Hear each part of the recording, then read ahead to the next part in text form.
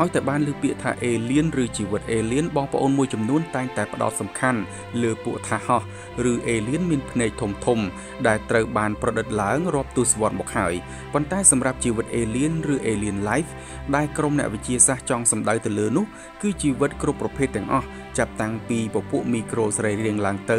ដែលកើតឡើងនៅទីកន្លែងផ្សេងទៀតក្រៅពិភពផែនដីរបស់យើងនេះ។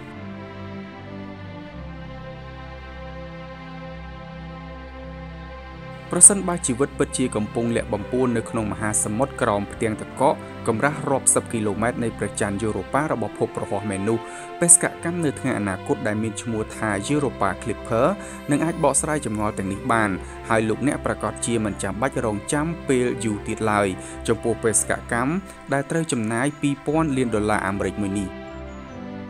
បេសកកម្ម Europa Clipper បានទទួលថវិកាឧបត្ថម្ភហើយពីអង្គការ NASA ដែលវាកំពុងស្ថិតនៅក្នុងការអភិវឌ្ឍនិងគ្រោងបាញ់បង្ហោះទៅរកព្រះច័ន្ទ Europa នៅអំឡុងពាក់កណ្ដាលទសវត្សរ៍2020និងត្រូវចំណាយពេល6ឆ្នាំដើម្បីហោះទៅដល់ទីនោះវាត្រូវបានបង្កើតឡើងដើម្បីសិក្សាអំពីលក្ខណៈនៃស្រទាប់ទឹកកកដែលស្រោបជុំវិញយូរ៉ូប៉ាព្រមទាំងលទ្ធភាពដែលអាចបង្កើតនិងទ្រទ្រង់ជីវិតរបស់បរិស្ថាននៅទីនោះ ប៉ុន្តែយាន Clipper នេះនឹងអាចឈានទៅរកឃើញអ្វីដែលអស្ចារ្យខ្លាំងជាងនេះប្រសិនបើអ្វីៗប្រព្រឹត្តទៅរលូនតាមការចង់បាននោះជុំវិញក្តីសង្ឃឹមខាងលើនេះអ្នកវិទ្យាសាស្ត្រមួយរូបនៃអង្គការ NASA គឺលោក Robert Pappalardo ដែលកំពុងសិក្សានិងអភិវឌ្ឍ Europa Clipper បានបញ្ជាក់ថា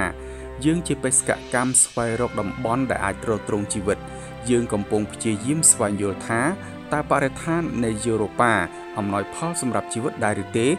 យើងមិនមែនជាបេសកកម្មរករោគជីវិតស្ដែងស្ដែងនោះឡើយប៉ុន្តែប្រសិនបើផ្ទៃក្នុងរបស់ជេរូប៉ាមានផ្ទុកដោយពពួកមីក្រូអូហ្គានិកដែលជាសារធាតុទ្រទ្រង់សរីរាង្គនោះយើងប្រកាសជាអាចប្រាប់អ្នកបានថា ប្រហែលជា ឬក៏អាចទៅរួច ដែលយើងកំពុងស្ថិតនៅកន្លែងដែលមានជីវិតហើយ